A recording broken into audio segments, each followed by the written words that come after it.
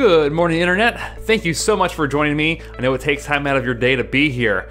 In this video, I want to talk with you guys about what might happen to our REITs, our real estate investment trust, if the market crashes in our face.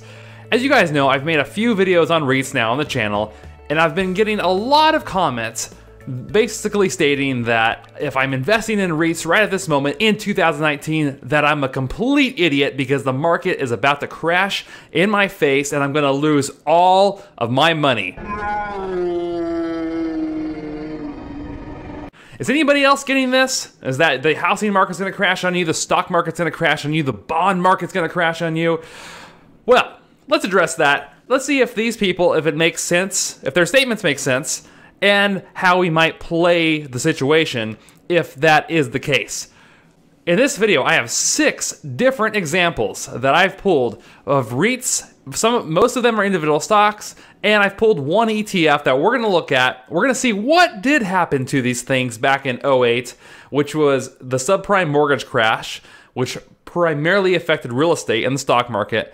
And let's see what happened to these things since then and where we stand today. If you're new to the channel, my name is Mike the CPA, and welcome to Money and Life TV, where we teach finances, investing, and taxes. If you guys like the work I do here on this channel and the videos I produce, you can support the channel simply by dropping a like, leaving a comment below, and consider sharing this video with others. Thank you so much. Let's dive into it. The first REIT I want to look at with you guys is EPR Properties, which is one of the REITs I own. In fact, many of the REITs we're looking at today are ones in my portfolio. So I was curious of what would happen to some of my REITs if it, if the market crashed here pretty soon. So let's start with the dividends, and let me zoom in, and hopefully you guys can see this. I wanted to see what happened to the dividend history of these companies. Did the incomes keep rolling in? So this EPR has been around since 1997. I'm going to scroll down here to 2008 roughly. And you see where this green is right here? That was the highest amount of dividends paid before the crash hit. And around the time the crash hit, during the 08 subprime mortgage crisis. If we scroll down here, what I noticed that is unique to EPR is they're able to keep paying dividends out well into the future, even after the market started to recover. The market started to recover in 2010 or 2000, late 2009, somewhere in 2010 is when the market started to bounce back. Since 2013, their dividends have been rising back in value slowly but surely each year, as you can see as I scroll down here, all the way to 2019, where they're now paying about 37 cents per share. But what happened price wise? Let's look at the price action and the charts, which I've included all of this information just so you guys know. You can look all this stuff up for yourself. It's on Yahoo Finance. That's where I pull most of my information from for my videos. Not all, but most of it. Let me scroll, let me zoom in. At the peak, uh, which I think was 2007 roughly, this 2007, 2008, this thing was sitting at about $68 per share. And after the crash hit, it fell all the way to about $15 per share, an 81% drop in value. Ouch. Talk about your punch in the face. I want you to hit me. Give me your best shot. Hit you? Yeah, come on. I, I can't because when I. Do it! Give me your. How was that? Is that okay? Quick note here as we're looking at these guys, just know that past performance does not always dictate future performance, but I think history can repeat itself in a very similar fashion, which is why we're looking at this and how your REITs and your portfolio might behave. Whether they're these REITs or different REITs, at least you'll have an idea of what to expect so that you don't have a panic attack if you see your investments drop in value. We, we just saw that this investment fell 81%. But what happened over the last 10 years? This thing, if, if you would have got in, if you would have started buying back in around $15 per share, or even right here, which is around $20 per share, Look what this thing has done over the past 10 years. It is back up at $77 per share, which is how much of an increase? You would have quadrupled your money since 2008, 2009 roughly. Average annual return, not including the dividend, just from price appreciation is 38%. That's average annual return. Pretty impressive if you ask me. Throw the dividend on, on top of there. You guys are looking at what 40 something percent return every year. Not bad. Can you guys live with a 40 percent return? I sure can. Do I care if this thing fell this much in value? Not really. As long as I have money in other places, I can hold on. I'll be fine. And that's why I, in my last video I just produced on talking about protecting yourself for recession, I talked about some of the strategies I use to not only protect our wealth, but to also then take advantage of future opportunities that come into play after a recession. The next REIT we're looking at is the Realty Income Trust, if I'm saying that right. Yeah, Realty Income Corporation, I should say. That's what it's called. Ticker symbol is O, and this is one of the most popular REITs in the market today, and it's been around for a really long time. It's been around, guys, since 1994. Many of the viewers on this channel weren't very old when this thing started paying dividends. And what's unique about O, or the Realty Income Corporation, is you'll notice that since 1994, they have had consecutive annual dividend increases, I think for like 26 years, 27 years, something like that. But you could just scroll down here and look at the dividend history, guys. It is really impressive to me. This means, regardless of the market conditions, now, if you remember the tech bubble hit in 2000, right? That's when the tech crash happened. Did this did your income stop if you own this? No, your income kept coming in. Now your value in your shares might have dropped, but your income still coming in, at least your dividend income. And since then, let's go to 2008. What happened to this thing during the subprime mortgage crisis? Did they drop their dividends? No. They've always been really conservative with their payouts. Therefore, they were able to keep increasing their dividends even through a major crash, which is really impressive. And even today, if we keep going, notice how the dividend just keeps increasing.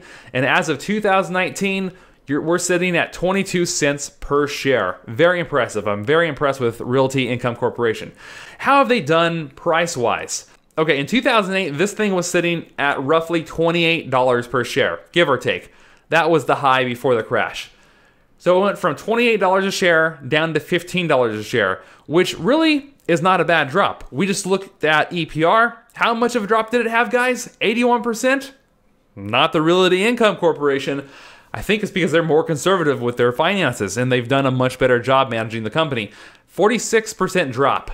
Not bad considering some of the other REITs we're about to look at.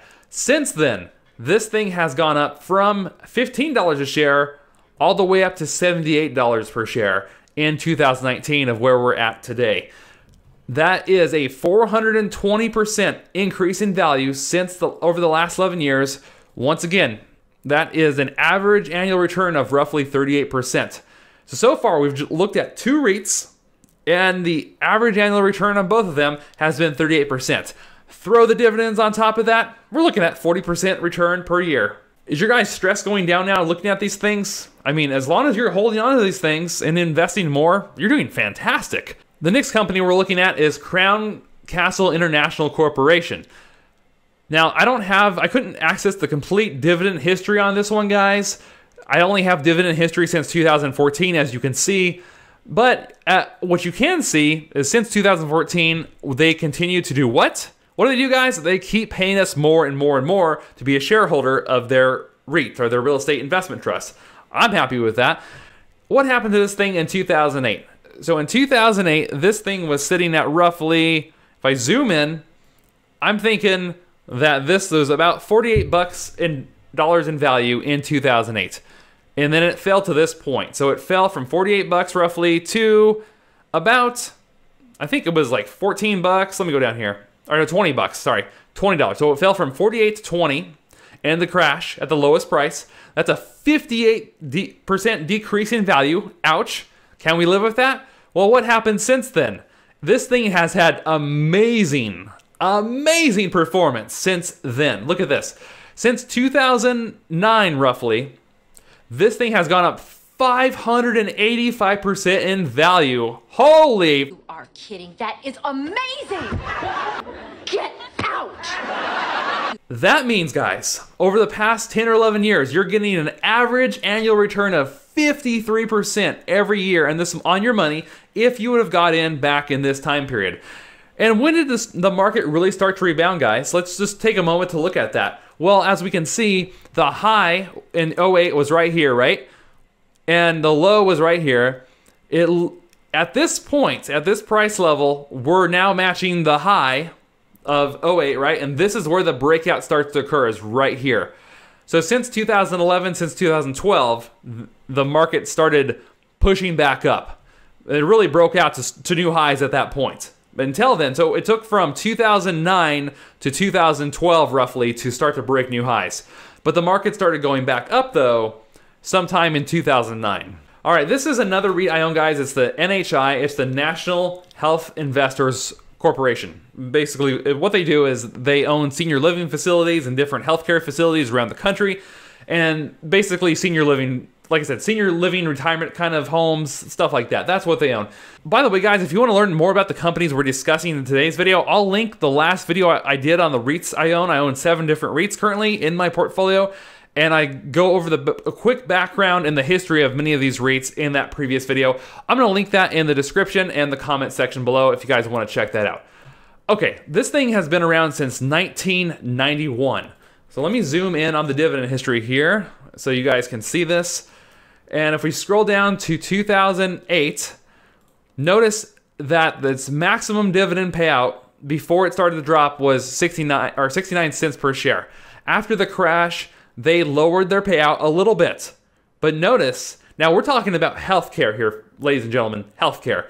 Do you think your health cares whether the market's going up or down? No, your health doesn't care. Do you think they're going to shut down senior living facilities and hospitals and things like that if the market goes down?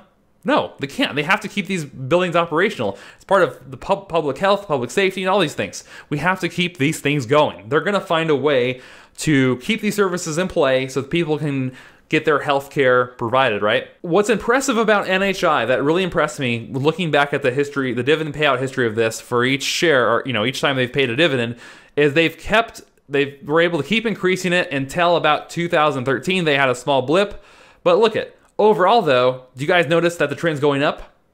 I certainly do. Look at this 77 cents per share in 2015. They're paying 85 cents. And as of 2019, they're paying a dollar and five cents per share. Not bad. Let's look at that share price, guys. And I'm going to, you guys can see the graph here. In 2018, the high was around $36 per share right here. It fell to a low of about $20 per share in 0809 or sorry, $18 per share when I looked closer at the graph when I was doing the research. 50% decrease in value, 50% drop. But since then, now it hasn't had the explosive performance as the other REITs did, but even even so, even so, guys, since 2009, 2010, if you would have got back in at that point around this $18 mark, $20 mark, 300 average or 300% return, almost 350% return over the past in total over the past 10, 11 years, which is about 30% return per year. Their dividend payouts are like 5 or 6%, their yield is. So you're looking at a 36% average annual return if you include the dividend. Now let's look at DLR. And I, I just want to know real quick, guys, do you do you get this a lot? Some now my family understands that I like investing, and they're actually really positive about it.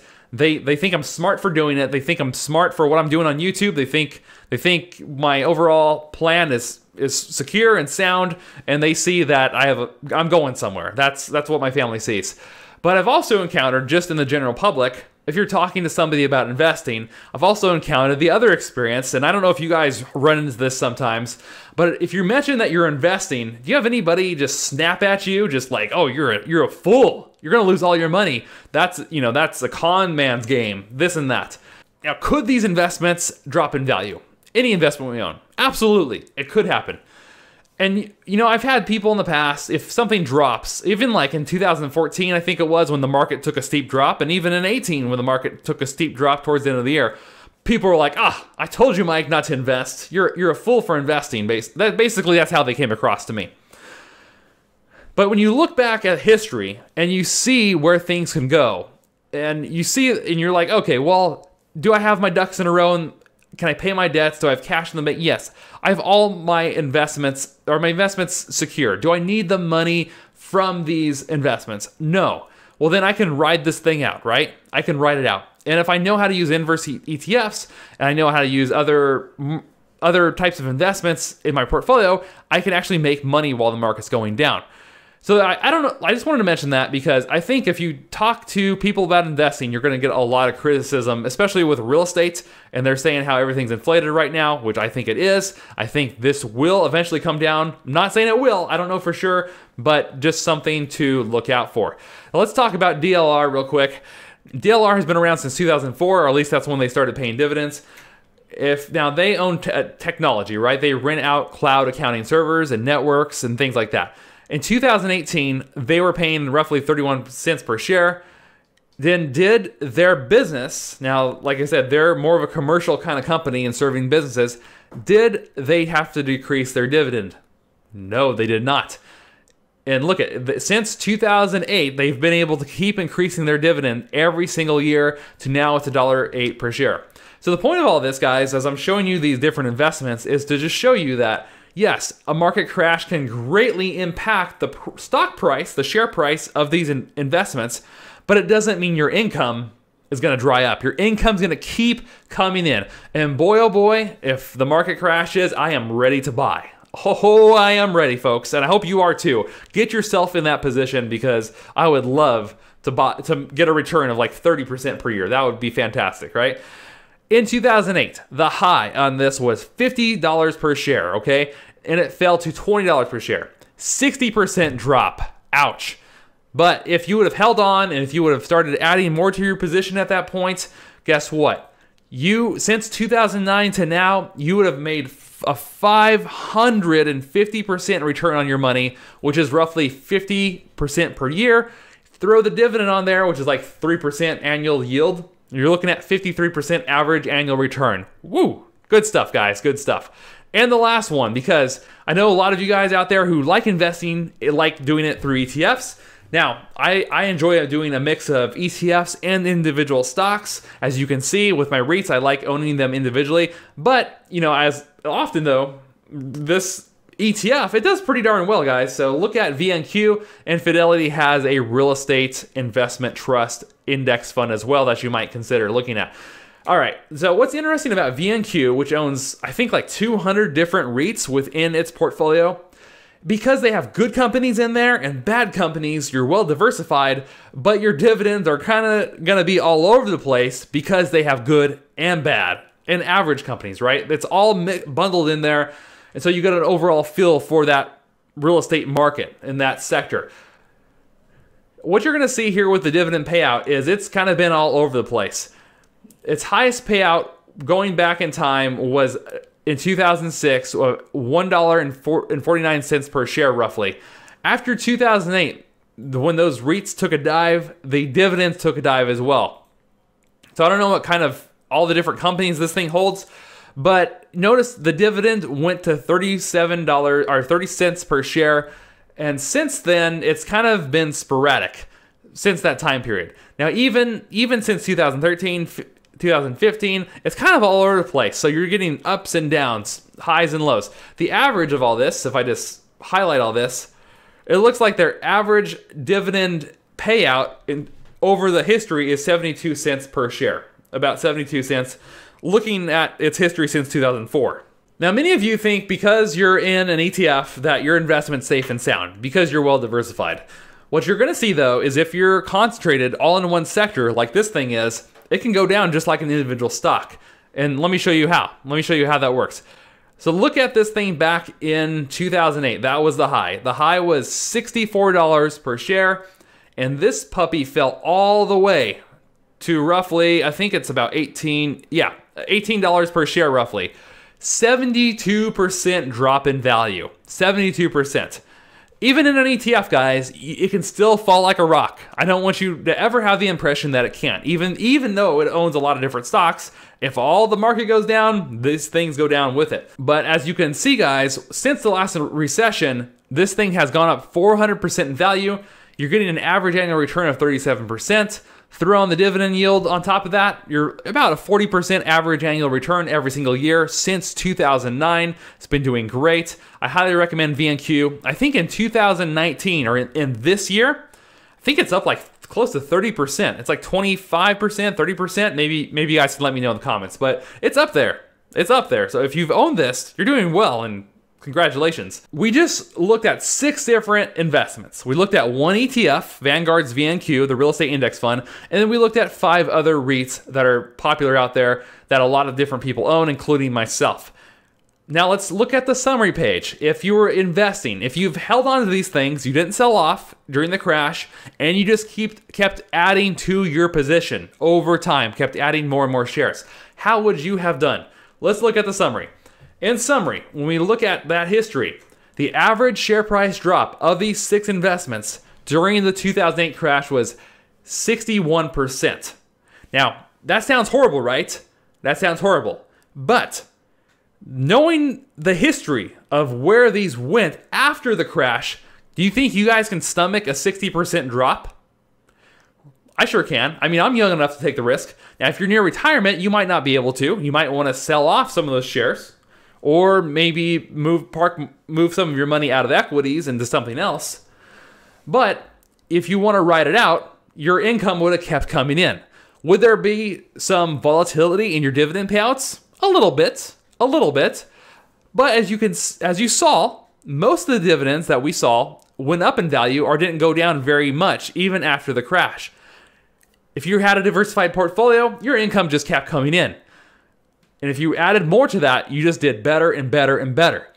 So the average annual return for these six investments since 2009, when the market slowly started coming back. Now remember, the market broke a new high and started becoming bullish in 2012, sometime in 12, you would have made 38% per year on average every year if you would have bought in at that point.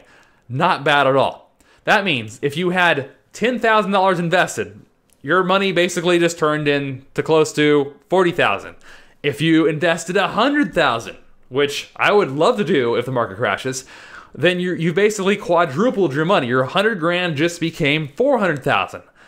As you guys can see, there's a lot of potential here, and I wanted to just cover this stuff with you guys because there was a lot of heat I was taking in the comments saying, basically saying, Mike, you're an idiot. This is going to crash in your face. You're going to lose all your money, blah, blah, blah, blah, blah. Yes. Will my investment go down like a rock? Yes. I'm fine with it. I'm not sweating it. As long as the company, as long as a long-term investor, do I care so much about the price movement of this? No. Because when I'm investing in a REIT, I'm investing for income. I'm not necessarily investing for growth. It's nice to have growth, and as you guys can clearly see here, we get growth from these things as well, but I'm not trying to trade them like a stock. I'm, as a long term investor, th- of this part of my portfolio, I'm looking for income, and the income, I've, it's been proven, keeps coming. So I'm not worried about a major drop in the market. And if it does drop, like I said, I'm going to definitely add more and participate and buy more, average down my cost per shares. I'm going to try to figure out when this market's going to level out if it does crash and then take advantage of it from there. Am I saying the market's going to crash? No. Do I know for sure it's going to crash? No. But I just wanted to show you the history of these things, guys, and how much opportunity you have if you're ready for it if a crash does come. Also, to not panic if something like this happens. All right, guys, well, that is all the information I have for you in today's video. I hope you got a lot out of it, and I hope you this gives you perspective of where we might be going and how much you could benefit from a crash if it does come. Either way, I'm still going to be investing for the long term and utilizing some other strategies as well that I'm currently learning. All right, guys, with that being said, if you like today's video, make sure to let me know by dropping a like. In the comments below, guys, let me know how does this impact your overall perspective on REITs now that we've gone over this? Do you are you worried now about losing 60% value?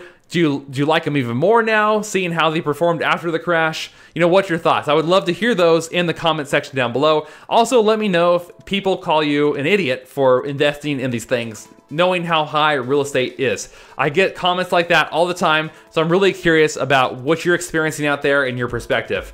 With that being said, thank you so much once again, guys, for spending time with me here on the channel. It means the world to me. You guys are family to me, and I just really appreciate you being here. If you're new to Money and Life TV, make sure to subscribe for weekly videos on finances, investing, and taxes. Have a great week, everybody. Use this information to live your life uncaged, and I will see you all in the next video. Peace, guys. Love y'all.